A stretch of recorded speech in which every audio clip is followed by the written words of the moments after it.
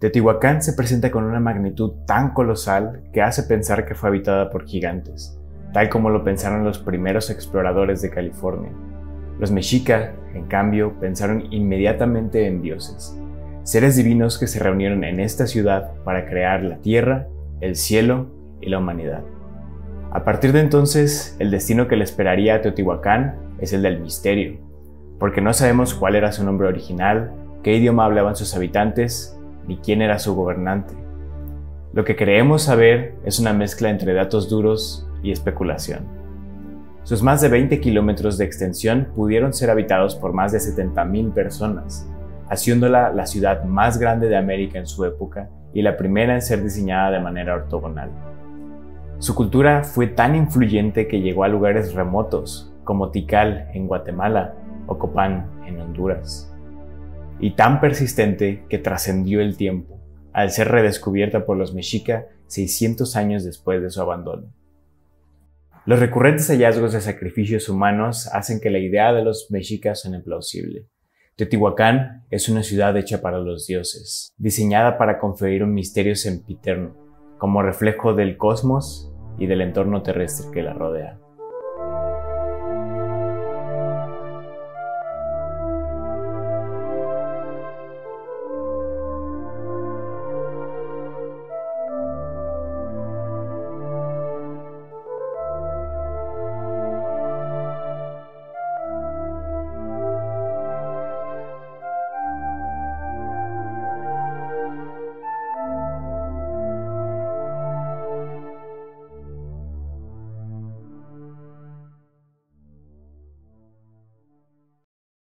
Hay un mito que relaciona la pirámide del Sol con la pirámide de la Luna. Se originó alrededor de 1900 y lo que cuenta es que estaban reconstruyendo la pirámide del Sol, la terminaban y se iban a reconstruir la pirámide de la Luna.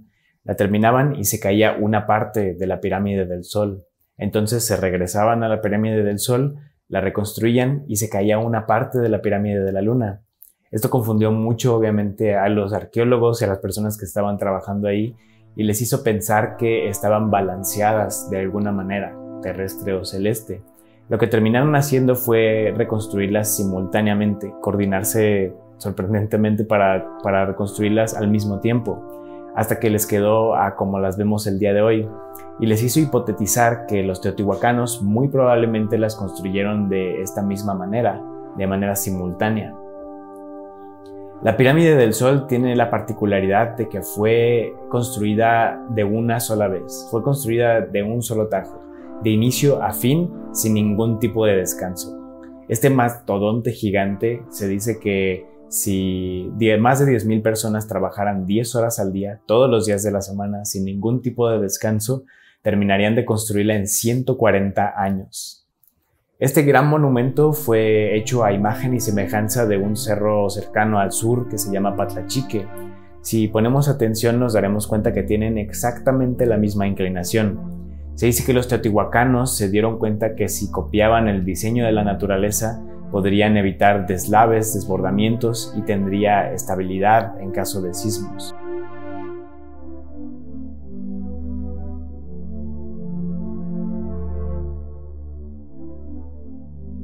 La foto de la pirámide del Sol quería que fuera la estelar, porque este es el emblema más grande de Teotihuacán, es con lo que lo relacionamos. Pero por una, por una prisa innecesaria, una presión también innecesaria, termina siendo un encuadre muy convencional, frontal, en el que ni siquiera se alcanza a ver toda su dimensión, que era lo que más quería capturar. Eh, no está bien centrada y pues apenas si se alcanzan a ver tres de sus niveles escalonados contrastados por estas escaleras que te llevan hasta la cima. Después de aquí nos dirigimos hacia la pirámide de la luna. Para llegar a ella se debe de caminar sobre el Micaotli o la calle de los muertos. Se le llamó así por los mexicas porque cuando llegaron y vieron estos edificios flanqueando la calzada, pensaron que eran tumbas de los reyes teotihuacanos. Hay otra versión que dice que los mexicas excavaron y encontraron restos humanos y le llamaron la calzada de los muertos o calle de los muertos. Sobre este corredor enorme de 40 metros de ancho por 4 kilómetros de largo, hay muchos edificios con el estilo arquitectónico característico de Teotihuacán, el talud tablero. La rampa es el talud que llega a un escalón, el tablero que está recubierto normalmente de tesontle o de estuco modelado. La primera foto la tomé cerca de la Pirámide del Sol. Es un edificio que separa la pirámide con la calle de los muertos. Quería hacer una composición muy geométrica en la que se viera el estilo arquitectónico, pero también dos edificios muy diferentes. En primer plano vemos un edificio desnudo, por así decirlo, y al fondo podemos ver uno que tiene el recubrimiento de tesontle, un poco más oscuro.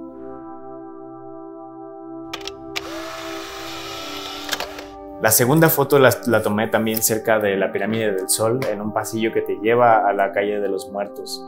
Muy inspirada en las fotos y en las composiciones de Juan Rulfo, acompañé al edificio de su entorno vegetal y también de una barda con alambres ahí que creo que funcionan de manera perfecta porque complementa las sombras y las geometrías muy angulares y geométricas del edificio con formas un poco más orgánicas, mucha sombra Además de que se alcanza a ver una nube ahí en el cielo. Se ve muy lindo.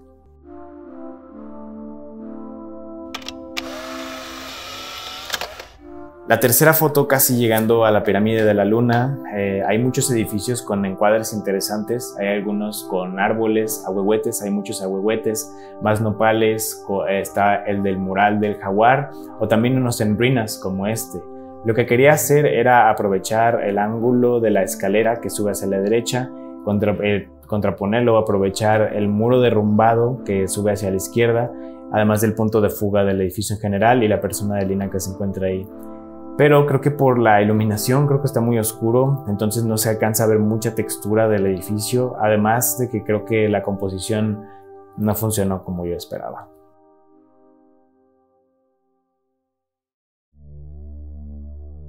Al finalizar el recorrido del Micaotli hacia el norte, este desemboca en una gran plaza que está amurallada por unos montículos bajos que parecen como palcos. Y hasta el centro está otro de los grandes monumentos, eh, de los grandes emblemas de Teotihuacán, la pirámide de la luna. Este monumento se caracteriza porque hasta el frente tiene una adosada con escalones, con tableros de tesontle, y detrás de estos hay varios niveles de profundidad de taludes sobrepuestos que representan sus siete etapas constructivas. Se dice que si trazamos una línea del Cerro Gordo, la pirámide de la Luna, y la desplazamos hacia el sur, llegaríamos a Templo Mayor en Tenochtitlan. Para la foto de la pirámide de la Luna quería hacer una sobreposición eh, de la arquitectura de la pirámide. Quería poner los tableros de la adosada hasta el frente oscuros, del tesontle muy oscuro. En segundo plano, los taludes de piedra desnuda de, la pirámide y hasta el fondo el cielo. Básicamente hacer tres niveles, tres niveles de profundidad divididos por geometría y por iluminación también. Fue un ángulo muy difícil de conseguir, pero creo que al final se logró y me gustó el resultado.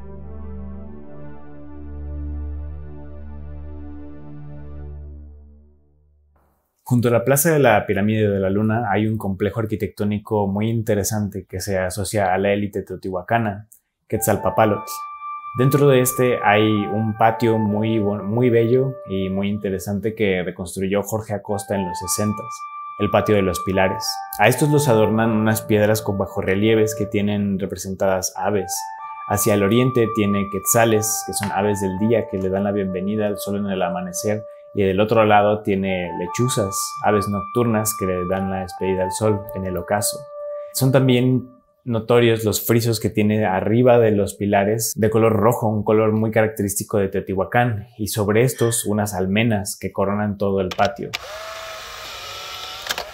La foto pues es un testamento de todas estas características arquitectónicas, de los niveles, las geometrías, las texturas que tienen, la profundidad de, los cuartos. Em, y pues el encuadre creo que pude haberlo hecho un poco más hacia arriba para que tuvieran más énfasis los pilares, los frisos y también las almenas. Pero salió bien. Creo que es una foto que también funcionaría en color.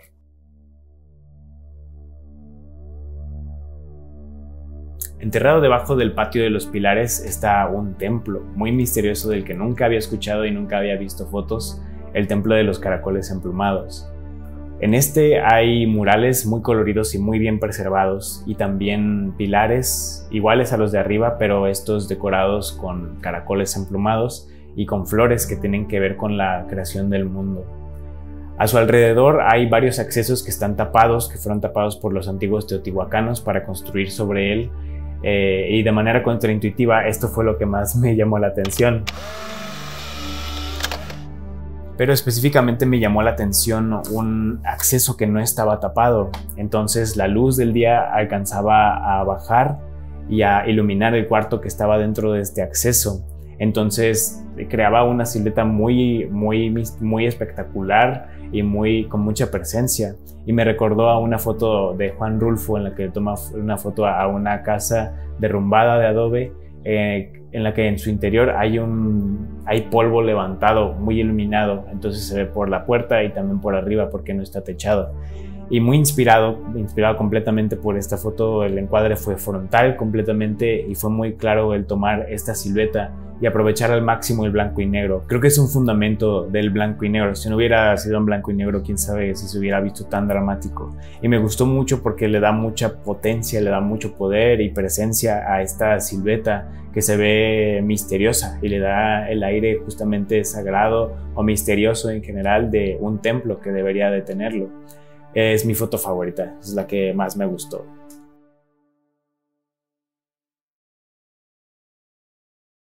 En el punto más sureño de Micaotli se encuentra la Ciudadela, una grandísima y generosísima plaza que está también amurallada y que converge en un templo, el de la serpiente emplumada. Este es otro de los grandes emblemas de Teotihuacán, las colosales cabezas de serpientes emplumadas labradas en piedra que parecieran brotar de una flor. Esas cabezas están acompañadas de otra máscara que antes se interpretaba como Tlaloc, pero más recientemente se interpreta como Zipactli, el gran monstruo o reptil que habitaba las aguas de nuestro mundo antes de nuestra era. Por Zipactli y por las ofrendas humanas que se encontraron en su basamento, se relaciona este, a este edificio con el calendario o con el tiempo sagrado, o también con la creación de nuestro mundo, el mito del quinto sol de los mexicas. Este edificio también habla de otro de los grandes misterios de Teotihuacán, de su abandono y su destrucción, porque si nos fijamos adelante de la fachada que tiene las serpientes hay otro edificio que la tapa. Este se dice que fue construido por un poder que quiso deshacerse del gran símbolo de la serpiente emplumada para iniciar un nuevo régimen. Entonces, de una manera muy literal, destruyeron el símbolo de la serpiente emplumada en tres de los lados de la pirámide y el único lado que quedó con estos restos fue tapado con otro edificio con una fachada más sobria. Para la foto de la pirámide de la serpiente emplumada, quería sobresaltar obviamente las cabezas de las serpientes, pero también esta historia de censura. Por eso del lado izquierdo se ve se ve la adosada que tapaba la fachada y del lado derecho la fachada con las cabezas. Sin embargo, en este punto del día se había nublado y la iluminación había cambiado dramáticamente y se me olvidó cambiar la sensibilidad de la cámara para que, se, para que saliera más iluminado. Entonces, desafortunadamente se, se, perdió toda esta información y termina siendo una foto nada más con dos planos, en el cual pues no se, no se alcanza a apreciar mucho. Desafortunadamente, una foto perdida.